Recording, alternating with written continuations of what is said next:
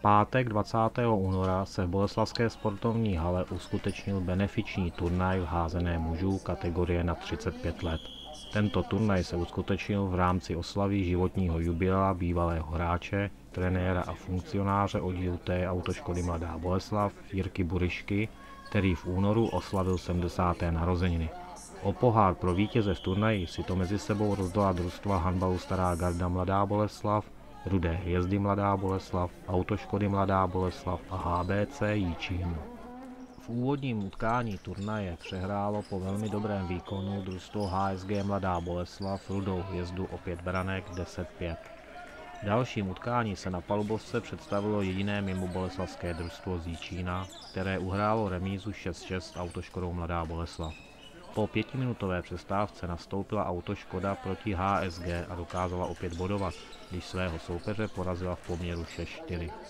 Házenkáři Jíčina v dalším svém vystoupení porazili Rudou hvězdu 6-4 a po přestávce těsně přehráli i házenkáře HSG v poměru 8-7. V posledním turnajovém utkání vyhrála auto Škoda nad Rudou hvězdou 12-7 a tímto vítězstvím si zajistila i zisk zlatého poháru za první místo. Na druhém místě skončilo družstvo HBC Jičín, následované družstvem HSG a na poslední čtvrté příčce skončil celek Rudé hvězdy.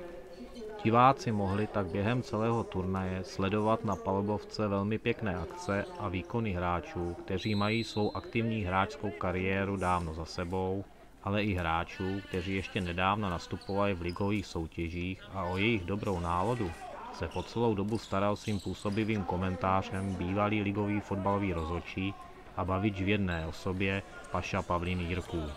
Sedmdesátník Jirka Boriška začínal zázenou ve dvoře Králové. Přes Duklu Jihlava nakonec zavítal do Mladé Boleslavy, kde svou hráčskou kariéru i ukončil. Ale házenou neopustil.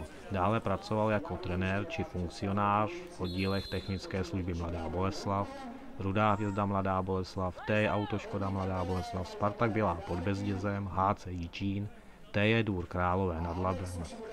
S házenou procestoval i kus světa, kdy se svými svěřenci absolvoval utkání a turnaje v Německu, tehdejší Jugoslávii, Bulharsku, Holandsku, Dánsku, Belgii, Francii, Rakousku, Polsku, Španělsku a Lucembursku.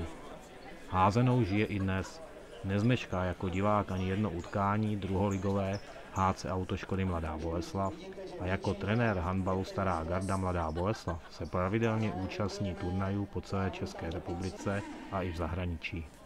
Sponzorsky celý turnaj zaštítili společnosti Alex Auto SRO, JM Partners Group Mladá Boleslav, Ecom Vzduchotechnika SRO, ZK MB SRO, Frischbeton SRO, Osvit Service Mladá Boleslav, Ranet SRO Mladá Boleslav a Automaster MB SRO. Při slavnostním vyhlášení výsledků obdržela všechna čtyři družstva z rukou ředitele turnaje Josefa Bajtalona a ředitele rakouské firmy Frischbeton Františka Hybše poháry a láhve sektu. No, turnaj hodnotím kladně, protože přijeli kluci skoro všechny z Jičína, co jsou pozvaný, babáci, Petra Kinčovi i Ivana Coufala, kterýmu už bude 68 roku. Jsem si myslím, že to splnil účel. Rudá hvězda, ty taky, autoškoláky, i když to bylo vše jak potom namixovaný, ale o to to nešlo, kdo vyhrál, že jsme se všechny zúčastnili a že se pobavíme dál.